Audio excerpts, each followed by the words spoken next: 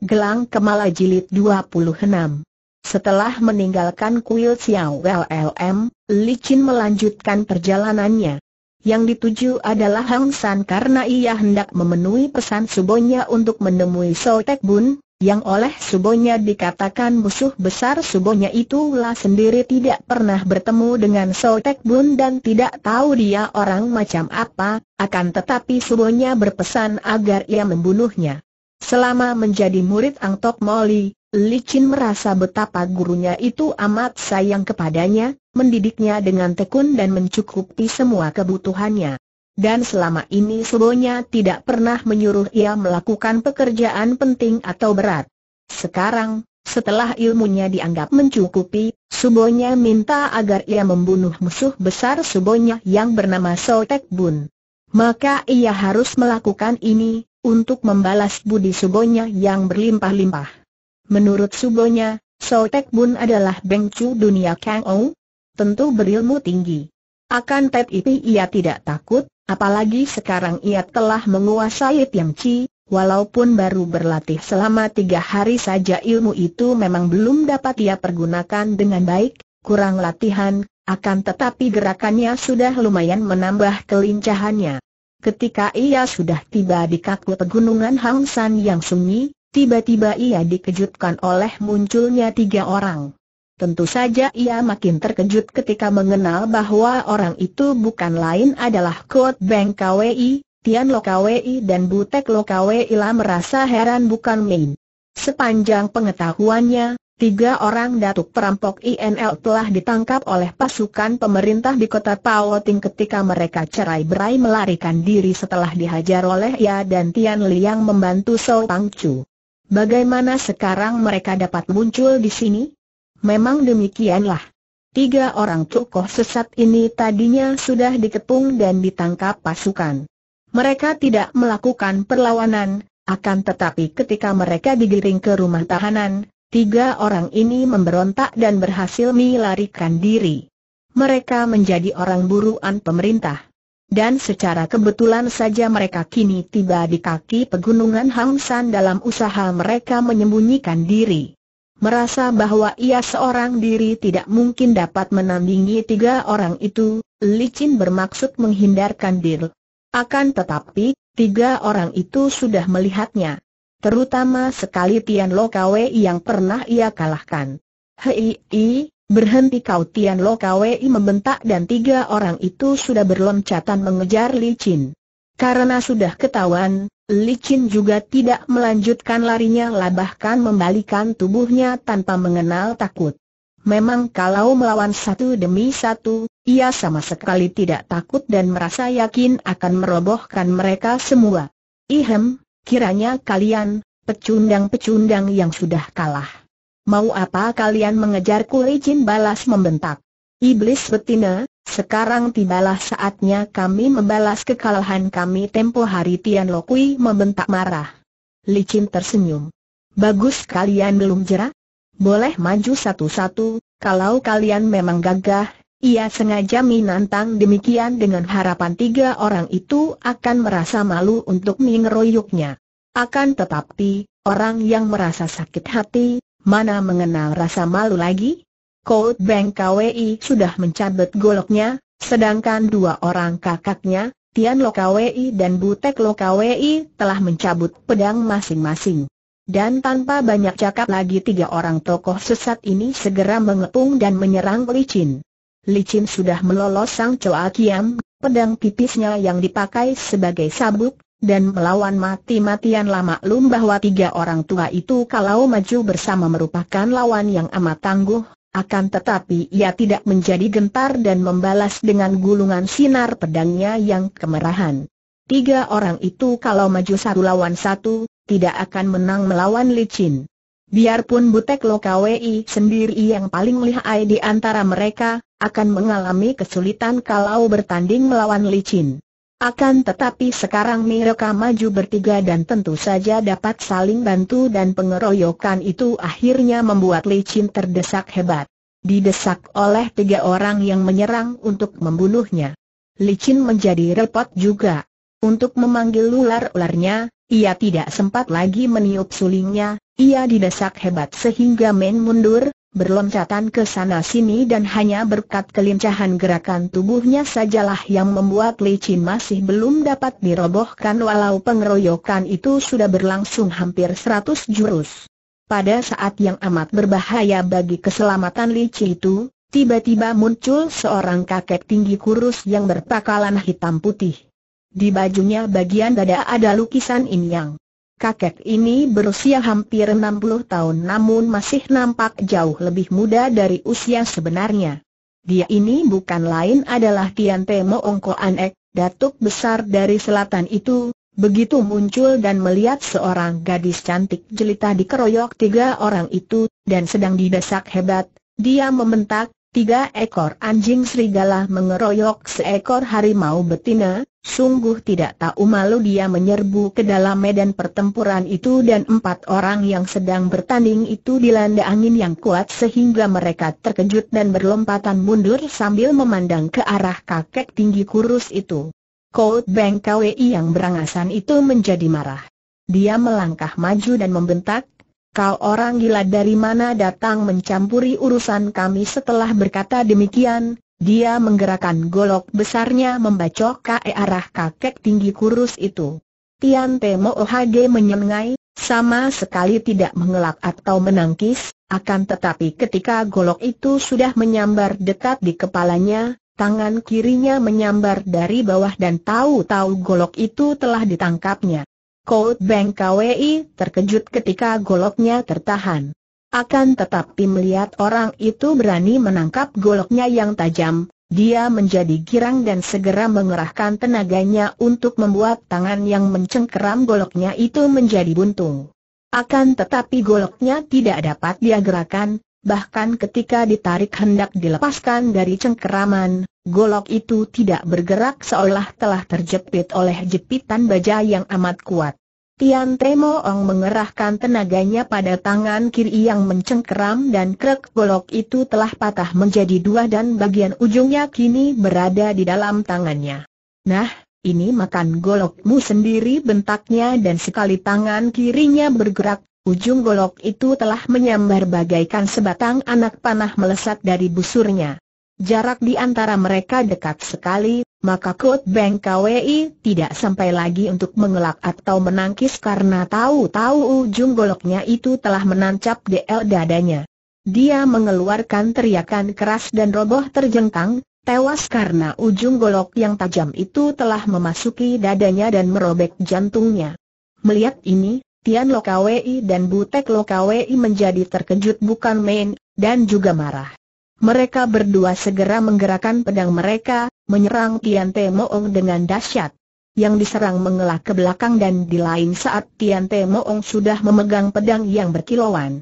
Akan tetapi, Tian Lokawei dan Butek Lokawei yang sudah marah melihat kematian adik mereka, tidak peduli dan mereka berdua segera menyerang lagi dengan tusukan dan bacokan maut. Akan tetapi kini nampak dua gulung sinar pedang yang demikian kuat sehingga mengejutkan dua orang pengeroyok itu. Akan tetapi kekagetan mereka sudah terlambat. Dua gulungan sinar pedang itu telah menghimpit sinar pedang mereka dan menekan sedemikian hebatnya sehingga mereka tidak mampu menghindarkan diri lagi. Terpaksa mereka menggunakan pedang untuk minahan dan melindungi diri mereka dari sambaran gulungan dua sinar pedang yang demikian kuatnya itu. Namun, ini juga tidak dapat bertahan lama. Belum sampai 20 jurus, Tian Lokawei terpelanting roboh dengan leher tertembus pedang. Butek Lokawei terkejut dan juga marah, menggerakkan pedang dengan tangan kanan, Sedangkan tangan kirinya mengirim pukulan jarak jauh sambil mengerahkan sin kangnya. Akan tetapi Tian Te, Moong menyambut pukulan tangan kiri ini dengan sambaran pedangnya.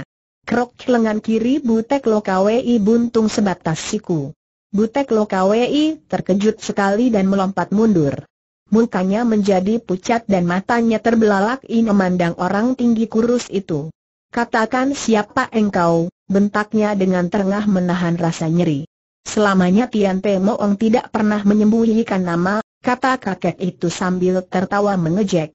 Bukan main kagetnya Butek Lokawei mendengar nama ini. penuh saja dia sudah mendengar akan nama besar Datuk Selatan itu. Karena baru sekarang bertemu, tadi dia tidak menduga bahwa yang dilawannya adalah Datuk Selatan. Dia sudah mendengar akan kekejaman Datuk ini, maka dia pun menjadi putus harapan untuk dapat keluar dengan selamat, dan dia menjadi nekat. Sambil membentak nyaring, dia melompat ke depan sambil menyerang dengan pedangnya. Akan tetapi, pedang itu tertangkis oleh pedang kiri Tian Te Moong dan pedang kanan Datuk itu sudah menembus dada Butek Lokawei dan robohlah tokoh sesat itu dan tewas seketika. Licin memandang dengan kaum. Bukan main lihainya kakek itu dan ia pun tidak merasa heran. Ia tadi mendengar pengakuan kakek itu dan sudah ama pula ia mendengar akan nama besar Ihian Moong sebagai Datuk Besar Selatan. Ia tidak pergi karena tadi ia mungkin sekah melihat perkelahian itu. Baru setelah ketiga orang itu roboh tewas, ia teringat betapa bahayanya orang seperti Datuk Sejatan ini. Dan kini sudah terlambat baginya untuk melarikan diri dan terpaksa ia menghadapi Tian Te Moong jadi engkaukah yang berjuluk Tian Te Moong? Suboku sering bercerita tentang Datuk Besar Selatan. Ternyata pujian guruku bukan kosong belaka. Engkau memang lihai sekali, Tian Temo Orik dan aku berterima kasih kepadamu telah menolongku dari tangan mereka, Tian Temo Ong tertawa. Hahaha, subomu angtok moli itu, cantik jelita, sayang mukanya pucat selalu. Engkau jauh lebih jelita, Nona. Dan aku Tian Temo Ong selamanya kalau melakukan sesuatu tentu ada ramrihnya. Tadi aku menolongmu dan membunuh tiga ekor anjing ini pun tentu ada ramrihnya. Hem, apakah pamrihmu, Moong aku tertarik kepadamu. Kalau bukan engkau yang dikeroyok, untuk apa aku mencampuri urusan mereka? Engkau cantik dan berbakat pantas menjadi muridku. Maka, engkau harus menjadi muridku selama dua tahun tidak? Subo tertumarah sekali. Haha, soal Angtok Moli serahkan saja kepadaku. Aku yang akan memberitahu kepadanya kelak. Engkau harus mulai sekarang ikut dengan aku diam-diam licin merasa terkejut dan khawatir sekali. Jelas ia tidak mampu melawan kakek ini dan sekali kakek ini sudah mengambil keputusan, bagaimana mungkin ia dapat mengubahnya? Dan ia tahu bahaya besar mengancam dirinya kalau ia ikut dengan kakek itu untuk menjadi muridnya.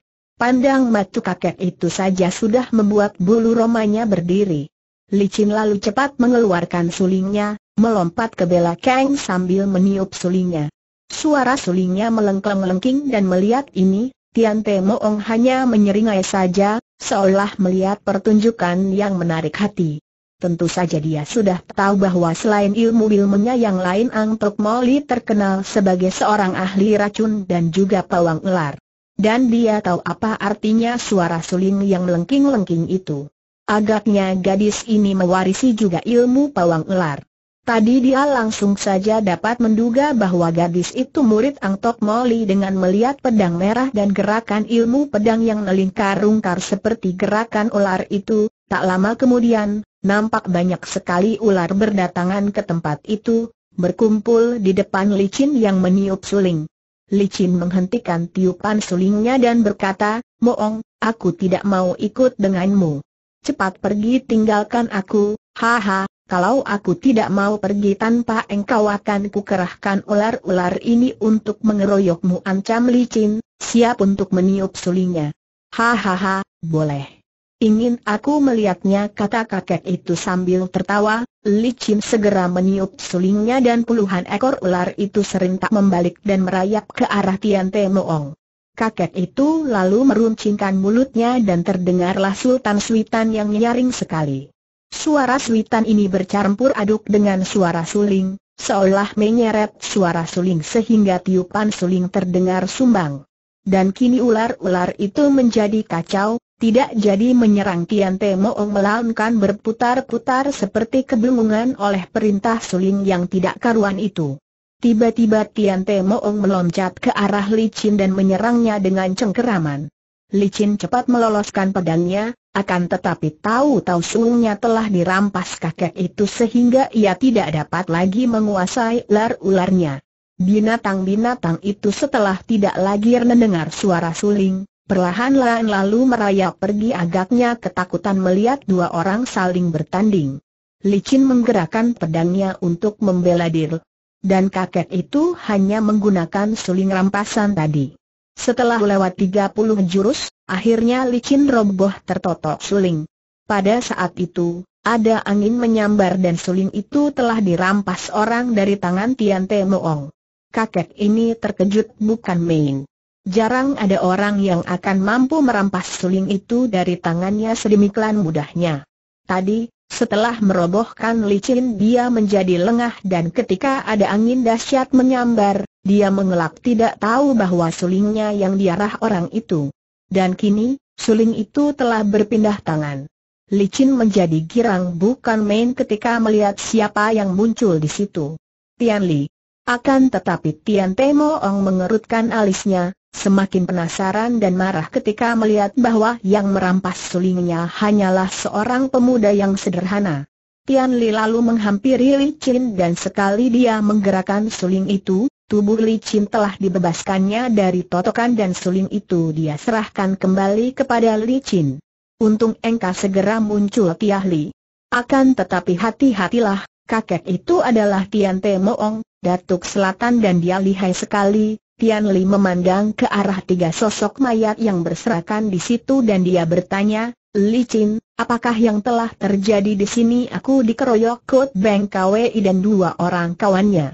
Agaknya mereka itu dapat meloloskan diri ketika ditangkap dan kebetulan bertemu denganku di sini. Aku dikeroyok tiga dan kewalahan. Lalu muncul Tian Te Moong membunuh mereka bertiga, ah, dia menolongmu dan kenapa kemudian bertanding denganmu habis, dia hendak memaksa aku ikut dengan dia sebagai murid. Aku tidak dan dia memaksaku, sementara itu, Tian Te Moong menjadi semakin jengkel melihat dua orang muda itu bercakap-cakap berdua tanpa mempedulikan dirinya, seolah dia tidak berada di tempat itu. Hei, orang muda, siapakah engkau yang berani menentangku? Mengakulah sebelum engkau mati tanpa nama bentaknya dan Tian Te Moong melangkah maju menghampiri Tian Li. Pemuda ini lalu menghadapi kakek itu dan memberi hormat dengan mengangkat kedua tangan depan dada.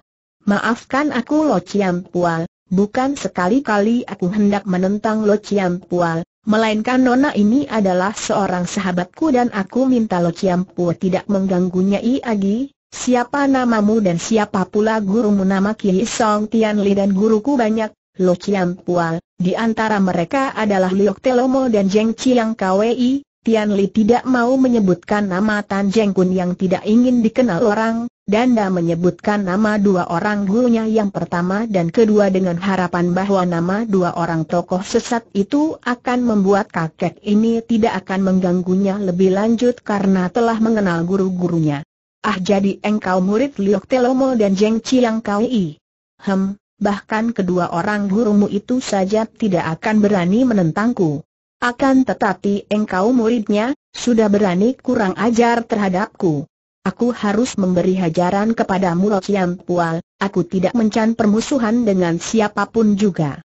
Harap suka membiarkan kami berdua pergi dari sini, hem, tidak semudah itu engkau harus mengenal dulu kelihayanku, dan kalau nona itu hendak membantumu mengeroyokku, boleh saja kakek itu menantang dengan sombong. Licin yang merasa penasaran dan marah kepada kakek itu lalu berkata dengan nada mengejek, Moong, jangan takabur. Melawan Tian Li seorang saja engkau tidak akan menang, kalau aku ikut pula maju mengeroyok, tentu dalam belasan jurus saja engkau sudah akan bertekuk lutut. Akan tetapi aku tahu bahwa Tian Li bukanlah seorang yang suka main keroyokan, maka aku hendak melihat bagaimana engkau akan mampu menandinginya. Li Chin bukan, hanya mengejek, melainkan ia sudah dapat menyelami watak Tian Li yang gagah perkasa. Tentu pemuda itu tidak mau kalau ia ikut mengeroyok kakek itu. Demikianlah sifat seorang yang gagan perkasa dan ia tahu bahwa watak Tian Li adalah watak seorang pendekar yang gagah perkasa. Tian Temo Ong marah sekali. Kalau begitu, engkau lihat betapa aku akan menghajar murid Liok Telomo dan Jeng Chiang Kwei ini. Tian Li, bersiaplah engkau Tian Li tidak berani memandang ringan kakek ini. Dia sudah mendengar akan nama besar empat datuk besar di dunia persilatan dan kakek di hadapannya ini adalah seorang di antara mereka. Kalau dia ingin dapat menandingi ilmu kepandaian kakek ini, dia harus mengerahkan seluruh tenaga dan kemampuannya. Aku telah siap, Lo Chiam Pual, katanya dengan sikap menghormat. Sambutlah ini bentak Tian Te Moong. Bentakannya nyaring dan mengandung tenaga hikang sepenuhnya, kemudian tangan kirinya meluncur ke depan dengan cengkeram ke arah muka Tian Li sedangkan tangan kanan menyusul gerakan pancingan itu menghantam ke arah perutnya. Hantaman tangan kanan kini dilakukan dengan Iwe Kang, tenaga dalam, sepenuhnya sehingga tangan yang terbuka jari-jarinya itu mengeluarkan suara angin menderu. Namun, dengan ringan sekali Tian Li mengelak, mula-mula menarik kepalanya ke belakang, lalu memutar tubuh sehingga pukulan lawan ke arah perutnya mengenai tempat kosong. Akan tetapi Tian Te Moong sudah menyusulkan serangan berikutnya dan kini bahkan kedua tangannya menghantam ke arah kepala dari atas bawah. Tian Li tidak mundur dia memang ingin menguji tenaganya untuk menghadapi tenaga Moong, maka dia mengangkat kedua tangannya menangkis sambil mendorong dengaf tenaga Tian Te Sin Kang. Tidak dapat dihindarkan lagi dua pa aseng lengan itu bertemu di udara. Duk dua tenaga yang dahsyat saling bertemu dan akibatnya, tubuh Tian Te Moong agak terpental ke belakang sedangkan kedua kaki Tian Li masuk ke dalam tanah sampai 5 cm. Keduanya maklum bahwa tenaga Sin Kang mereka seimbang dan hal ini sungguh mengejutkan Tian Te Moong. Moong tadi telah mengerahkan seluruh tenaganya dan pemuda itu mampu menahan pukulannya. Padahal menurut perhitungannya, bahkan Liok Telomo atau bahkan Jeng Chiang Kwei sendiri belum tentu akan mampu menahannya. Bagaimana mungkin murid mereka dapat memiliki tenaga yang demikian hebatnya? Tentu saja dia tidak tahu bahwa selain mempunyai dua orang guru itu, Tian Li masih digembleng oleh orang yang lebih lihai lagi, yaitu Tan Jeng Kun dan bahkan lebih dari itu, Tian Li telah mewarisi ilmu-ilmu yang amat dahsyat dari seorang sakti dan telah makan jamur ular belang yang membenya tenaga tanda seru yang hebat. Kini Tlan Temo Ong menjadi penasaran sekali dan mulailah dia menyerang pemuda itu dengan ilmu silatnya tangan kosong yang ampuh. Iblis selatan ini memiliki ilmu silat tangan kosong yang berdasarkan im dan yang sehingga terdapat perubahan-perubahan yang saling bertentangan. Kadang pukulannya menggeledek, keras mengandung tenaga kasar yang amat kuat, dan tiba-tiba saja pukulannya berubah lembut namun mengandung tenaga lembut yang berbahaya karena dapat mendatangkan luka dalam tubuh lawan. Akan tetapi betapa terkejutnya ketika dia melihat pemuda itu dapat menandinginya. Bahkan dalam tenaga Shin Kang, pemuda itu pun telah menguasai tenaga kasar dan lemas secara bergantian sehingga dapat melayaninya dengan baik. Kalau dia menggui akan tenaga kasar, pemuda itu pun menyambutnya dengan tenaga kasar dan bagaimanapun juga, dia sudah tua dan melawan seorang pemuda, dia tidak dapat mengandalkan tenaga kasar. Akan tetapi kalau dia menggunakan tenaga lemas, pemuda itu pun menyambutnya dengan tenaga dalam yang halus namun mengandung kekuatan seperti hawa dan air. Tian Li juga tidak berani mengalah terhadap kakek yang sakti ini. Dia tahu bahwa balas menyerang menjadi pertahanan yang baik, maka dia pun membalas serangan kakek itu sehingga terjadilah pertandingan yang amat menarik. Saling pukul, saling totok, saling cengkeram dan saling menendang. Akan tetapi semua serangan, baik dari Moong maupun dari Tian Li dapat dilakukan atau ditangkis oleh lawan. Mereka sudah bertanding sampai 100 jurus dan belum nampak tanda-tanda siapa yang lebih unggul. Sementara itu, soal usia merupakan kenyataan yang tak dapat dilakukan lagi. Tian Te Moong mulai merasa lelah dan kalau pertandingan tangan kosong itu dilanjutkan, dia akan kalah, bukan kalah karena ilmu silat, melainkan kalah karena kehabisan napas. Sehingga nampak dua sinar berkelebat dan kakek itu telah mencabut sepasang pedangnya. Akan tetapi agaknya dia masih menjaga nama besarnya sebagai seorang datuk, maka dia tidak segera menyerang, melainkan berdiri tegak dan berkata dengan sikap yang angkuh. Orang muda, keluarkan senjatamu tantangnya, keringatnya mengucur. Tian Li tidak berani memandang rendah lawannya, akan tetapi diam-diam dia girang sekali. Kalau dengan tangan kosong, entah berapa lamanya dia harus bertanding karena kakek itu benar-benar merupakan lawan yang amat tangguh. Kalau bersenjata, lain lagi karena dia dapat mengandalkan Jit Goat Kiam Sut. Maka dia pun segera menurunkan buntalan pakaiannya yang sejak tadi menempel di punggungnya, lalu mengambil pedangnya. Ketika dia menghunus pedang itu nampak sinar berkilat menyilaukan mata dan pedang Jit Goat Sin Kiam telah berada di tangan kanannya sedangkan sarung pedang berada di tangan kirinya. Sarung pedang itu pun terbuat dari baja murni yang tipis namun kuat, sehingga dapat pula dipergunakan sebagai perisai untuk mengimbangi pedang lawan. Lo Chiam Pual, aku sudah siap kata. Tian Li. Licin melihat betapa kakek itu agak terengah dan muka serta lehernya basah oleh keringat, sedangkan Tian Li masih nampak biasa. Hal ini membuatnya semakin kagum. Tadi ketika melihat jalannya perkelahian, darah ini sudah kagum sekali kepada Tian Li. Kini melihat betapa jelas kakek itu kewalahan, ia girang bukan main dan ia tidak lupa mengejek, Moong, Hati-hati engkau. Sebentar lagi, kalau tidak lehermu yang putus, tentu napasmu. Aku berani bertaruh Tian Te Moong tidak mempedulikan ejekan gadis itu. Dia cukup kaget melihat pedang di tangan Tian Li.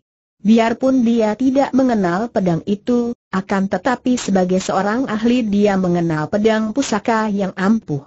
Sepasang pedangnya sendiri juga terbuat dari bahan baja yang murni, amat tajam dan juga kuat. Akan tetapi dia mengerti bahwa pedang yang berada di tangan pemuda itu lebih ampuh lagi.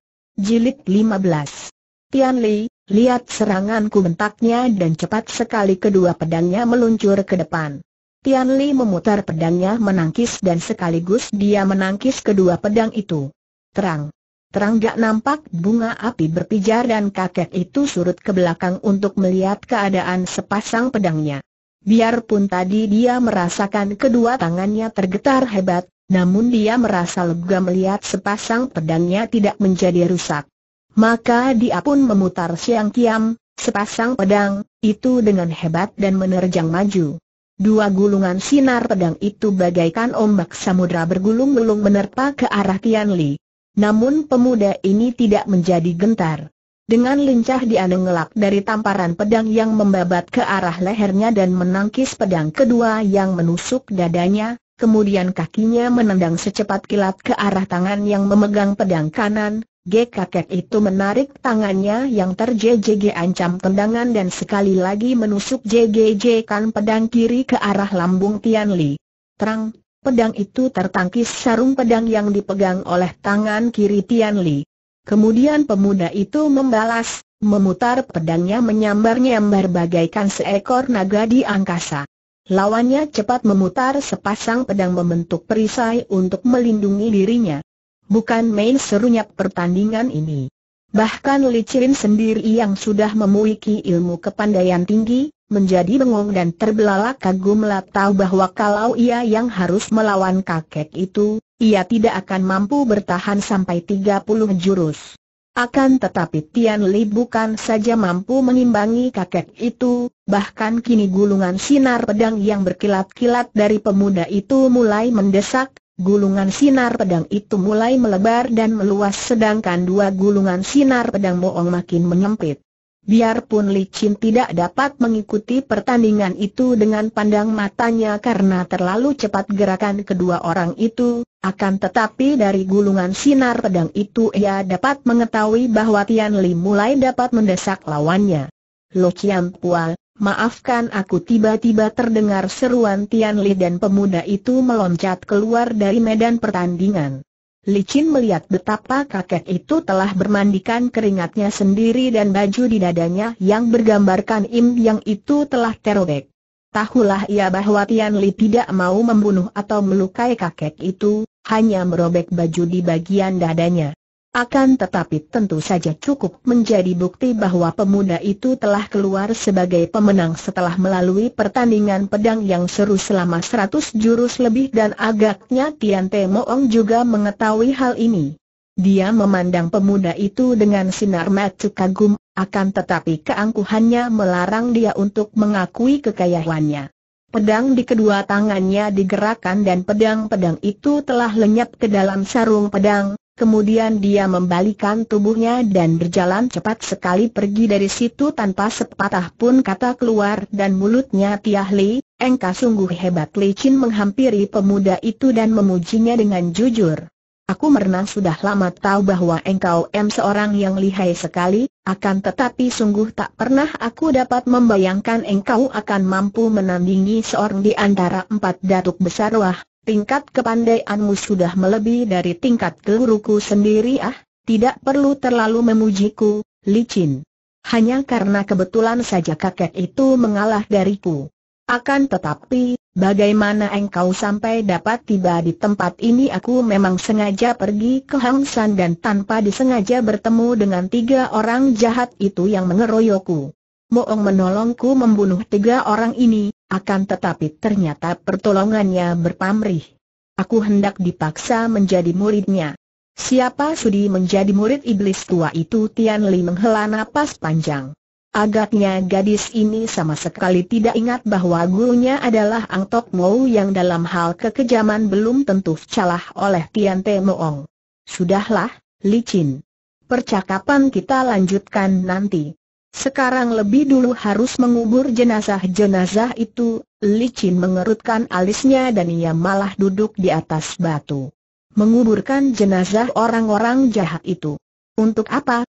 Mereka itu hanya orang-orang jahat, seperti binatang-binatang buas, hem, ketika masih hidup mungkin mereka itu melakukan kejahatan. Akan tetapi mereka itu tetap manusia dan sekarang mereka adalah jenazah-jenazah manusia yang harus dihormati dan dirawat.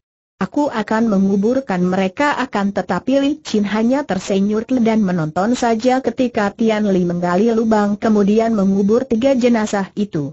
Setelah selesai barulah Tian J.S. Ali membersihkan kedua tangannya. Sebetulnya engkau ada keperluan apakah datang ke Hang San? Li cintanya Tian Li sambil menatap wajah yang cantik jelita itu. Sejak tadi Li Chin mengikuti semua perbuatan Tian Li dengan pandang matanya dan kini ia memandang wajah pemuda itu dengan heran.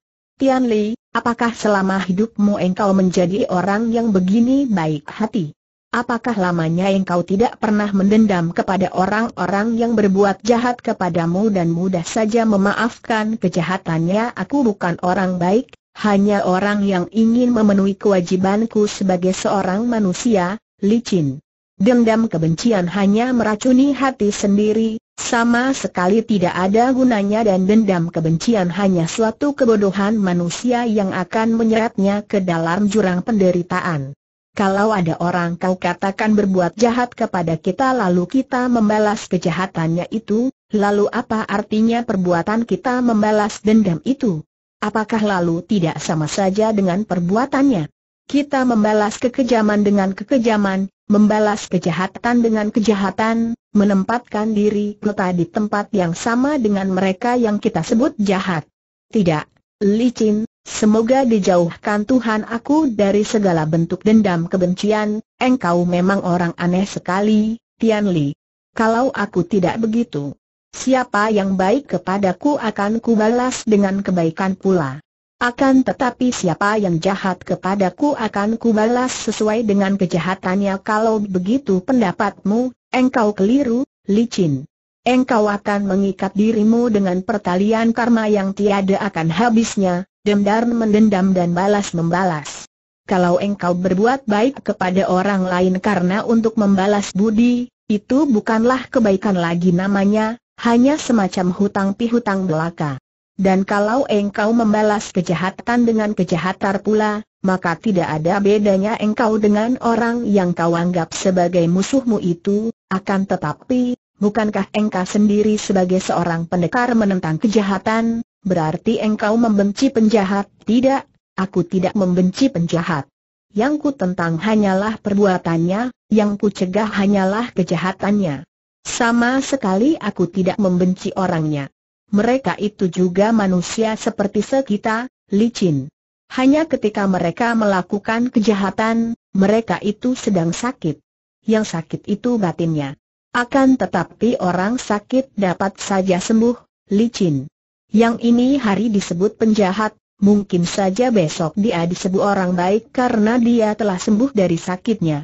Sebaliknya, yang sehat dapat saja menjadi sakit. Yang hari ini disebut orang baik, mungkin saja sewaktu-waktu dia dianggap jahat karena terserang penyakit itu. Manusia itu selalu berubah karena itu jangan sekali-kali membenci manusianya, melainkan tentanglah kejahatannya. Wah, engkau membelengungkan aku, Tian Li, sudahlah, kelak engkau akan mengerti sendiri. Oh ya, engkau mencari apakah sampai ke Hang San ini?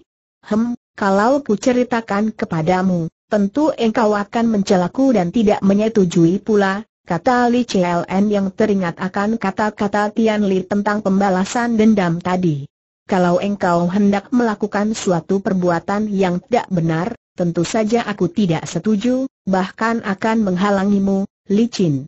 Engkau seorang gadis yang baik sekali, bahkan memiliki dasar watak yang baik, Aku tidak ingin engkau terperosok ke dalam perbuatan yang tidak benar. Tiba-tiba Li Chin penuh perhatian dan menatap wajah tampan gagah itu dengan penuh perhatian. Tian Li, mengapa engkau demikian memperhatikan keadaan diriku? Mengapa? Mengapa engkau peduli apa yang akan kulakukan, baik atau jahat?